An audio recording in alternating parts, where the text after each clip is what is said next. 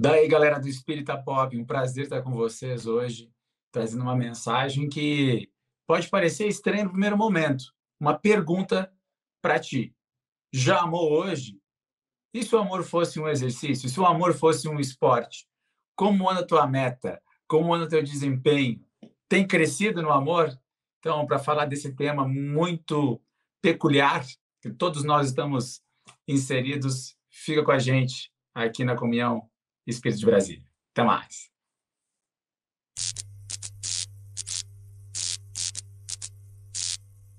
Daí, meus amigos, se ligaram no tema? Tema de casa ou seria constância, que nem o exercício físico nos pede? Vamos trazer essa brincadeira com essa comparação, metáfora, vinculando o amor como um exercício fazendo com que a gente possa uh, estruturar meta de desempenho. Vamos fazer isso? Por que, que eu estou falando isso, galera? Lei de amor, Evangelho segundo o Espiritismo, lá do capítulo Amar o próximo como a si mesmo, no capítulo 11, né? No item 8, um trecho lindo. São três espíritos que revezam para falar de amor, e especialmente aqui, o espírito Lázaro, aquele que foi ressuscitado por Jesus, aquele que estava lá uh, catalérgico, não sei como é que é o nome aí, vocês depois escrevam aí para nós. E Jesus falou, acordou ele, não, sai para fora, sai para fora que tu tem que continuar vivendo, né? Jesus era muito amigo de Lázaro, Maria e Marta, irmãos, e eles, então, Jesus ficava na casa deles, tudo.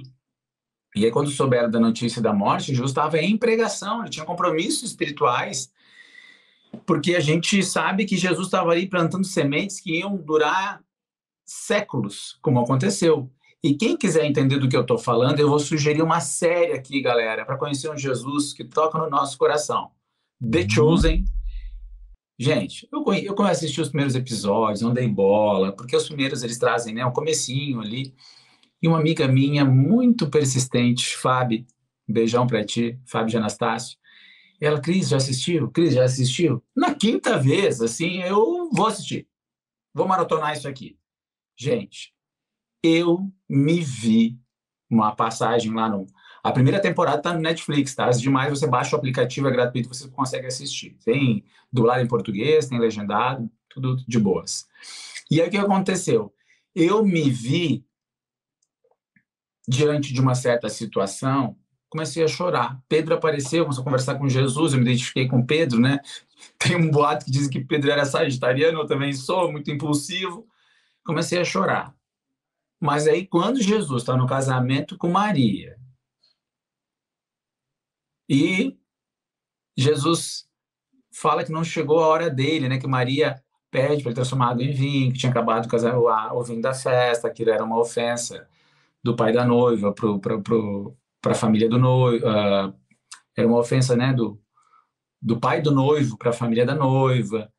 E aí, no, na, na, série, eles perguntam assim: Jesus pergunta, não é minha hora, fala, não é minha hora, mãe. E aí ela, ela fala: não, agora quando? E aí eu senti, gente, Jesus, o espírito que criou o planeta Terra, um espírito de pelo menos 3 bilhões de anos, diante de sua mãe, ele virou um menino ele obedece à mãe. Gente, e eu vendo aquelas trocas de olhares de Jesus e de Maria, aquele amor, eu fiquei de joelhos chorando. Chorei, chorei, aquilo lavou a minha alma. E eu fiquei ligado naquela, naquele sentimento de Jesus e de Maria, assim, Jesus feliz, alegre, seguro, sabe?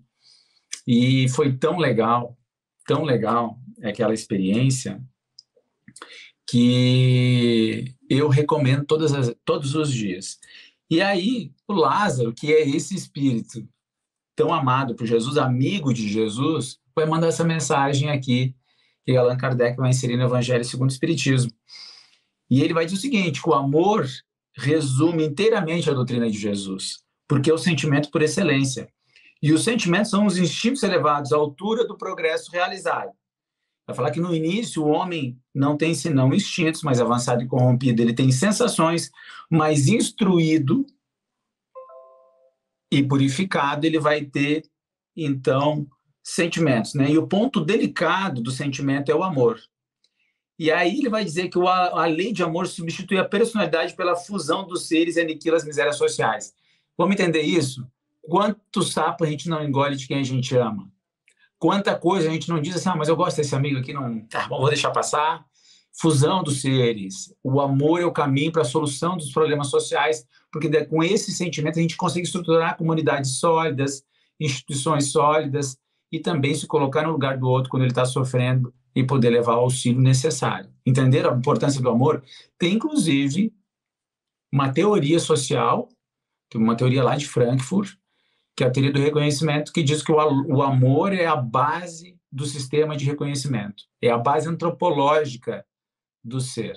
Um autor até que eu estudei lá, lá na PUC, e eu achei tão legal, assim, a gente foi estudar nessa teoria, começava pelo amor. Porque o amor te dá confiança para você respeitar as pessoas, reconhecer as pessoas, inclusive. Ele é muito importante. E aí, aqui, ele vai falar que feliz aquele que, ultrapassando sua humanidade, ama com amplo amor seus irmãos que estão em sofrimento, que tem, estão sentindo algum tipo de dor. Beleza? Então, o que, que significa, gente? Que nós temos condição nós temos condição de colocar a meta de amar. Amar o nosso cachorrinho, amar o cachorrinho da rua. Eu tenho condição de comprar ração para o meu cachorro? Será que eu não posso andar no meu carro com um pouquinho mais de ração? Às vezes, lá com 10 reais, a gente compra lá uma raçãozinha. Tem um cachorro que é pura. Já pegaram? Já viram assim um cachorrinho? Todo mundo já viu, né? Puro osso, pele e osso.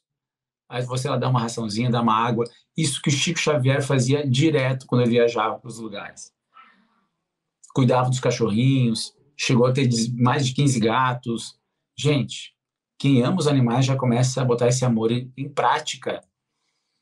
Claro que a caridade moral, a caridade com nossos pais, nossas mães, nossa, nossa, né, é, nossos tios, nosso, nossa irmã, toda essa a gente tem que botar em prática também. Mas muitas vezes são desafetos de outras encarnações que a gente tem que lidar com uma situação mais difícil.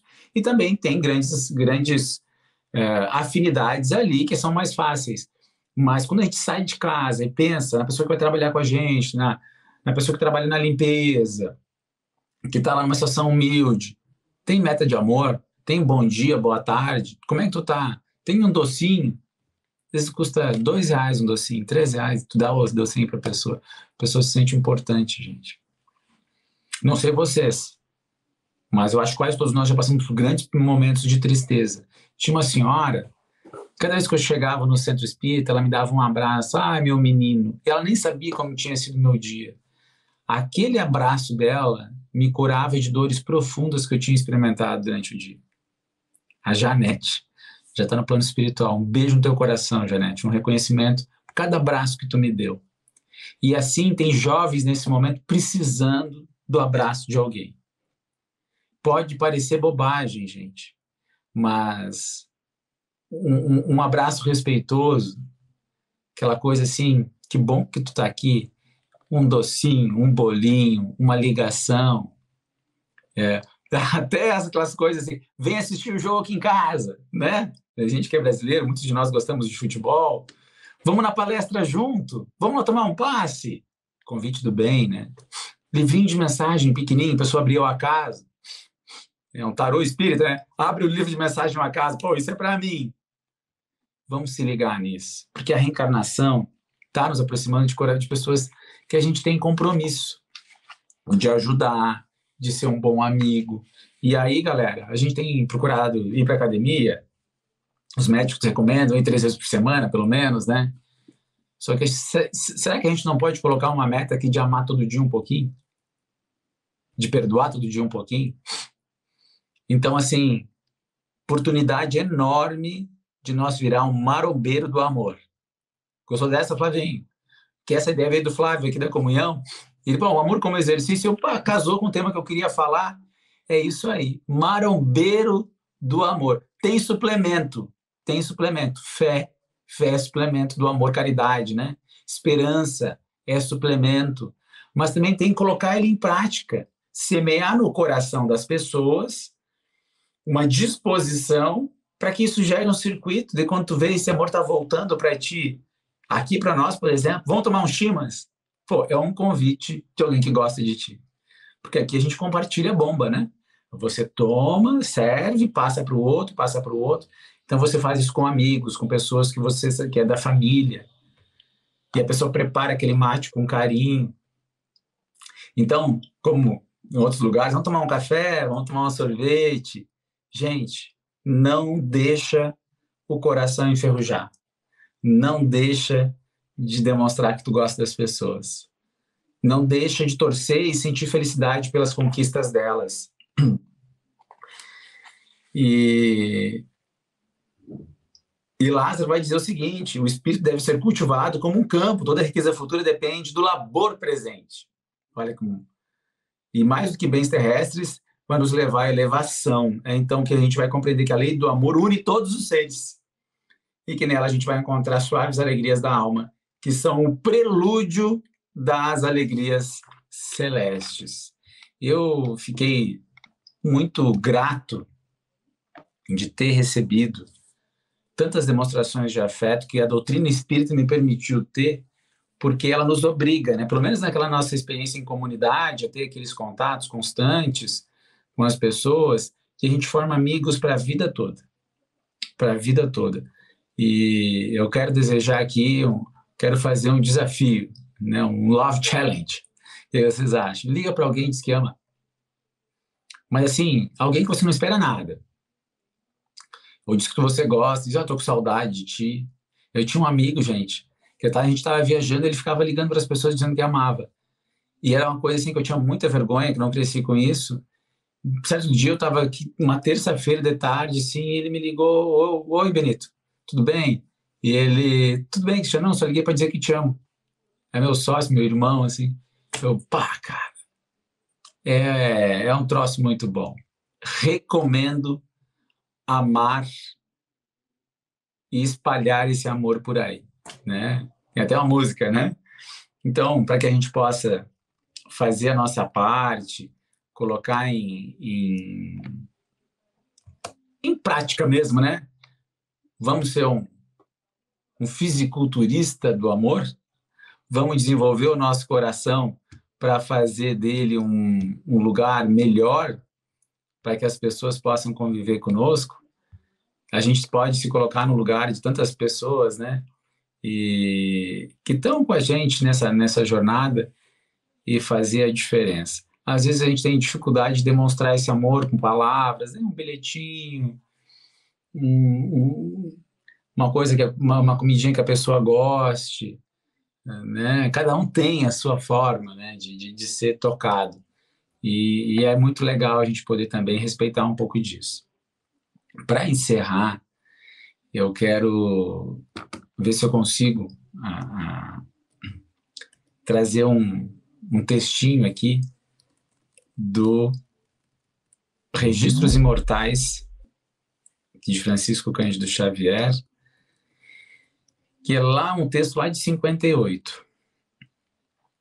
Como é agradável amar. O amor não é apenas o mais belo e suave dos sentimentos, é também a mais luminosa de todas as virtudes. É pelo amor que adornamos a vida dos mais belos e sublimes atos. É pelo amor que vencemos as vicissitudes que embaraçam a nossa jornada na vida de experiências necessárias. É pelo amor que caminhamos ao encontro da dor, solidarizando-nos com os irmãos que trazem sobre os ombros fardos mais pesados que os nossos próprios. E é pelo amor que aconchegamos bem junto ao coração a criança que se encontra no caminho da nossa jornada para Jesus, que não conheceu o carinho de mãe nem o amor de pai. É pelo amor que aprendemos a perdoar. É pelo amor que aprendemos a abraçar, trazendo bem junto ao nosso coração aquelas criaturas que foram denominadas desprezíveis. É ainda pelo amor que aprendemos a admirar o grande cenário da natureza, onde a mão divina em pinceladas sublimes, deixou-nos quadros ricos de seu amor, da sua bondade, do seu constante interesse pelas suas criaturas na terra. É pelo amor que aprendemos a decorar, né?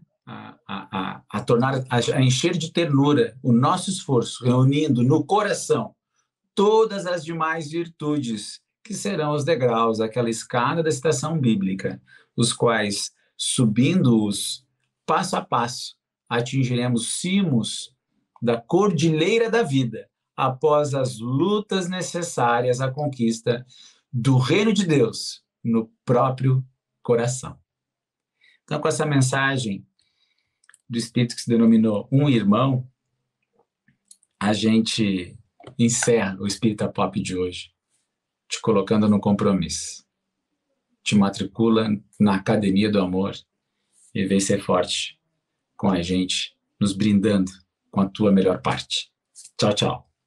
Até mais.